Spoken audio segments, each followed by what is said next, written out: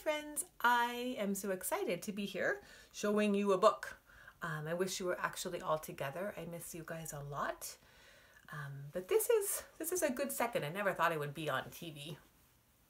Um, this book is called The Snail's Spell. It's written by Joanne Ryder and a lady named Lynne Cherry wrote the pictures. I love this book um, for so many reasons.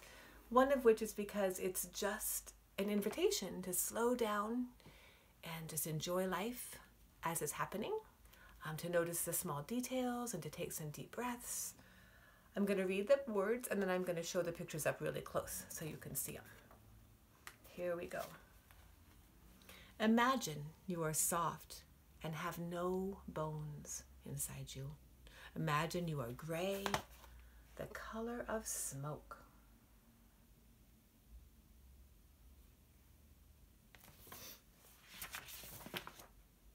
You are shrinking.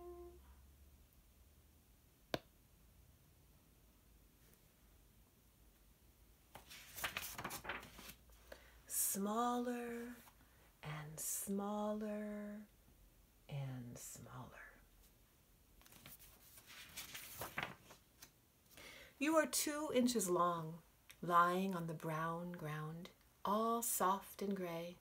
Imagine you have no arms and legs now. Imagine you cannot walk or run.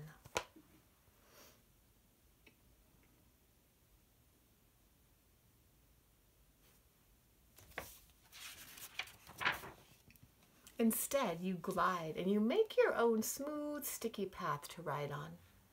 It is easy to move this way, and it feels cool and good.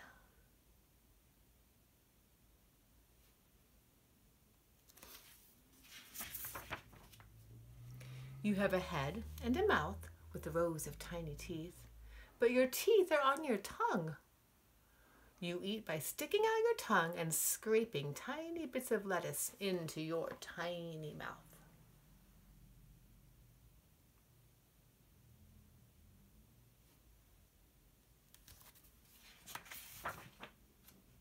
As you glide slowly on the damp brown ground, you touch everything with two short feelers.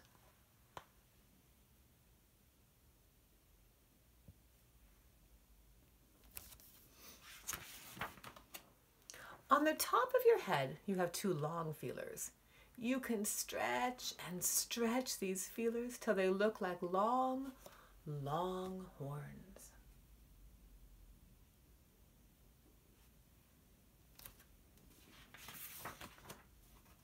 Your small black eyes rest at the tips of these feelers. One eye sees the brightness above. The other feeler curls around a leaf. Now you can see the darkness there.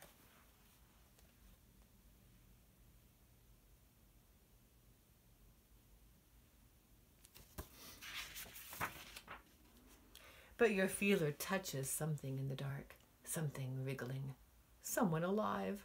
Fast as you can, you pull your feeler back. You tuck your eye inside your feeler and you hide it from danger. Your eye glides down and down into your head.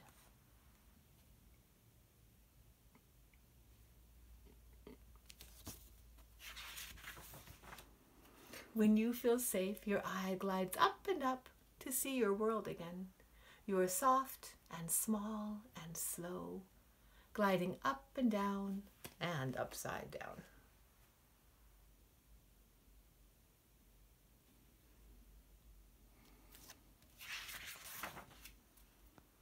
On your back lies a light, curled shell.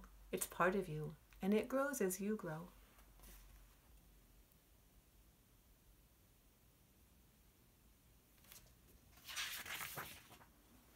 Whenever you want to rest, you have a place to go.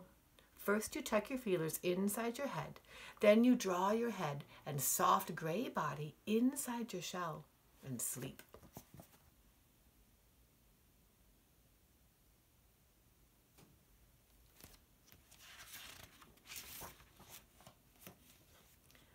It's like this snail has a little space place all of its own, built right on its back. Hope you enjoyed the book, guys. It's one of my favorites. I'm so glad to be able to share it with you. Be well. See you later.